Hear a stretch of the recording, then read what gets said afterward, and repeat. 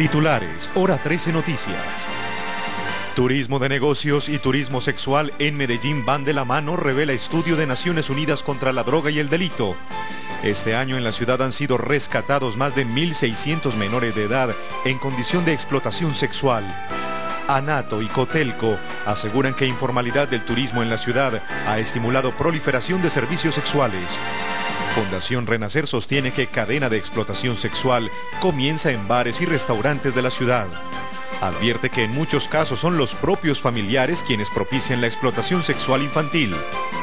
Las redes sociales, un nuevo canal para atraer víctimas de este delito. Metro Salud se retira definitivamente de las cárceles del área metropolitana. El domingo deja de atender en el Pedregal e Itagüí. Estudiantes de la institución Laura Vicuña de Bello marchan para oponerse al inminente cierre definitivo de la institución. Habitantes del barrio La Paz en Envigado aseguran que ya no tienen paz por cuenta de la delincuencia. En Laureles, controla motocicletas ayuda a disminuir algunos delitos, pero vecinos piden mejorar la iluminación para aumentar la seguridad.